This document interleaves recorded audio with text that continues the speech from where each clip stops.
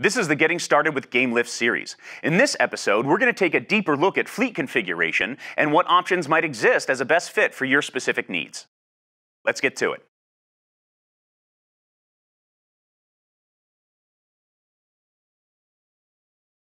And we're back with getting started with Amazon GameLift. I am Derek, and with me today is Al. So, in our last segment, we initialized our first fleet with kind of our, our minimum viable product. But there are a lot of use cases where we might want to choose a different instance type or different launch parameters. So, can we talk a little bit, Al, about in what situations we might want to choose a, a larger instance or change our parameters, things like that? Yes, yes, of course. So, uh, I mean, the, the, probably the main thing that uh, customers ask us is, well, which instance type should we use? And the, there's a, there's a, fair number of them here, uh, different sorts. And really, it depends on how compute intensive the server is. If you have a more compute intensive server, then you may need a larger instance. Also, you, we're going to select a number of concurrent processors. So how many processors or how many servers are running concurrently on this instance? So if we use a small machine like the C4 Large, we might have fewer concurrent processors. But if we were to use some of these very large instances like the uh, like the M410X large or, or, or, or, other large instances, then this number of concurrent processors could be quite a lot higher. There's uh, some other things we need to decide as well. So the first is, is this fleet going to be an on-demand, or spot type fleet? And uh, what, so the, the spot instances basically are uh, free instances in the pool of, uh, of, of, EC2 that are being unused at the present time.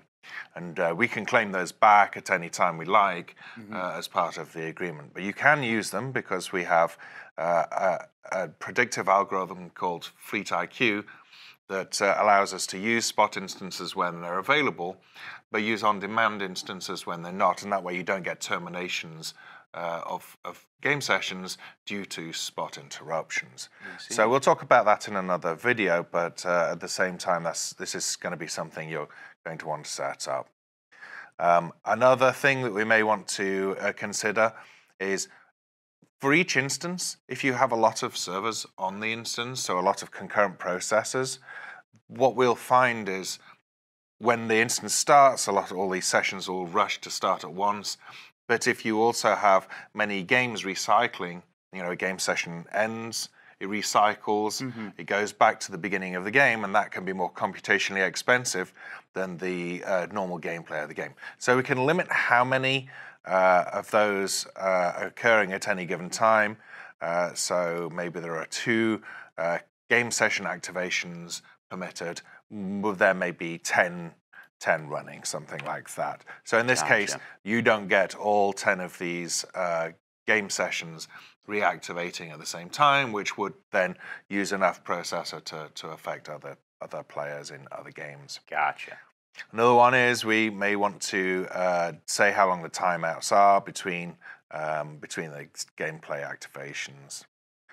So uh, the one more thing which we're going to think about here is are we going to protect the players against um, against scaling rules or are we going to allow or are we going to allow sessions to be terminated so when you're doing development it makes the most sense to have uh, the protection set to no protection that way if you wanted to just manually scale down then uh, the fleet will be able to do that. But on a live server, you really would want uh, full protection as the as the players you they're playing real games. They don't want to be interrupted for any reason.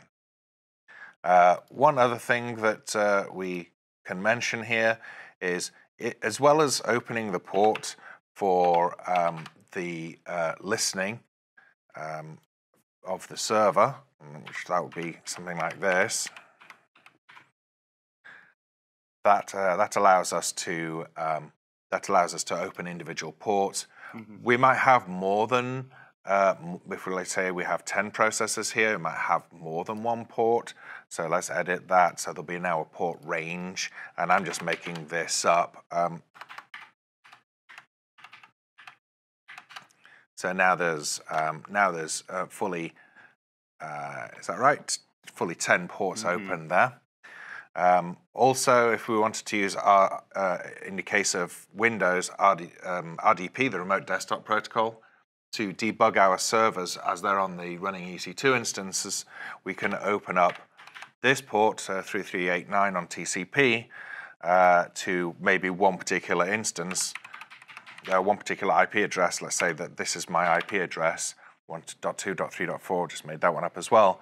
But now that opens that particular port just to me or to my the range of uh, range of IP addresses gotcha. available to my corporate office, and then uh, we can debug the uh, debug the servers um, at that point. If we're going to use a, a Linux instance, we're going to use SSH to do that, and that's mm. port 22 instead.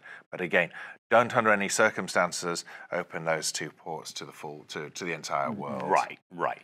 And there we go. That's everything you need to know about how to select instances, uh, the uh, concurrent processor setting, how to regulate the number of processors recycling, which ports you can open and why, and whether to use protection or not. Excellent. Well, that seems very, very flexible in terms of how we can apply these fleet configurations in order to to best utilize the GameLift service for our for our uh, multiplayer games. So I would like to to talk a, a little bit more about uh, some more of the the features of GameLift, uh, but we're gonna uh, go ahead and end this segment here, and uh, we'll be right back with some more content for you. So stick around.